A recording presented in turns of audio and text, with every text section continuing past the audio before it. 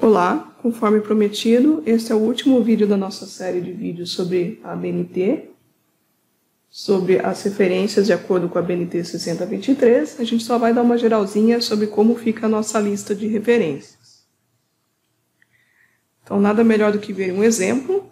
Então, aqui temos uma lista de referências, o que precisamos falar, né? A lista de referências, ela tem entrelinhas simples, por mais que no seu trabalho ou no seu artigo você tenha usado entrelinha de um e-mail, a entrelinha da lista de referências é de um, ela é simples.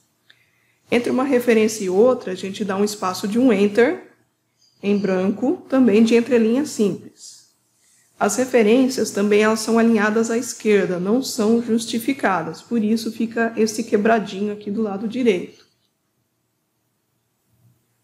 Veja que aqui nessa lista de referência, todos os prenomes dos autores estão por extenso. Então, essa também é, um, é uma regra da BNT, que se você que se você abreviar o prenome de um autor, o ideal é que você abrevie de todos os demais autores da sua lista de referências.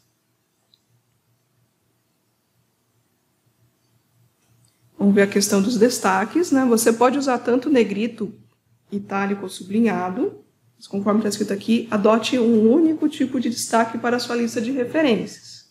Então veja que no primeiro exemplo está sendo usado o negrito, no segundo exemplo está sendo usado itálico e no terceiro sublinhado. Então eleja qual destaque você vai utilizar para a sua lista de referências e utilize somente ele nos devidos lugares de acordo com as referências que estão sendo feitas. A ordenação vai variar de acordo conforme você fez a sua citação. No sistema autor-data, veja que aqui as referências vão ser ordenadas por ordem alfabética. Okay? Já no sistema numérico, as referências serão ordenadas de acordo com a sua ocorrência no, no texto, se é, o, se é a primeira, se é a segunda, e assim vai. Então, vamos fazer um checklist aqui da ordenação das referências utilizar nas referências o espaço simples, separar as referências entre si por um espaço simples em branco, alinhar sempre à esquerda, não justificar. No caso da ordenação alfabética, primeiro por autor, em seguida por título. Aí alguma, isso é a regra principal da BNT, tá, gente? A ordenação alfabética é alfabética mesmo. Então, primeiro você vai ordenar alfabética por autor, se houver coincidência de autor, você alterna em seguida por título. Porém, há pesquisadores, há instituições que preferem que, no caso da coincidência de sobrenomes de autor na lista de referências, na sequência você coloca a cronológica crescente, ok? Mas se você for seguir a BNT certinho, é alfabética, somente alfabética. E no caso da ordenação numérica, elas vão ser ordenadas de acordo com a ordem que aparecer no texto.